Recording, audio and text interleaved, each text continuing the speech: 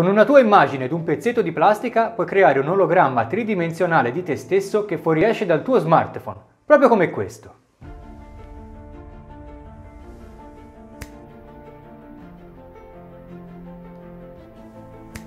La prima cosa che ti devi procurare è quella che prende il nome di piramide a cornice olografica, che in realtà non è niente di più che questo pezzetto di plastica.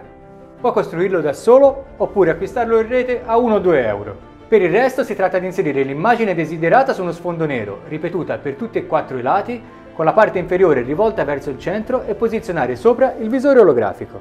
Voglio farti un regalo, e non si tratta di questo. Per semplificarti la creazione dell'immagine, ti lascio in descrizione il link all'articolo sul mio blog dove potrai trovare il codice completo in Google Apps Script per generare il tutto automaticamente in Google Slide, il PowerPoint di Google. Una volta copiato e incollato il codice nell'editor di script del menu strumenti, dovrai solo modificare il riferimento all'id dell'immagine caricata sul tuo Google Drive.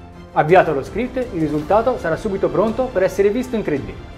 Questo è solo un esempio ludico di cosa è possibile fare con Google Apps Script anche strumenti che non sono i soliti fogli Google.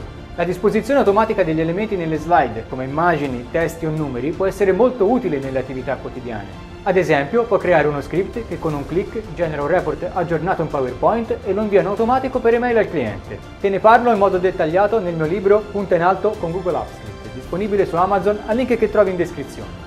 Spero che questo video ti sia piaciuto. Iscriviti al mio canale se ancora non l'hai fatto per essere aggiornato sulle prossime uscite. Per il momento ti saluto e ci vediamo al prossimo video. Ciao!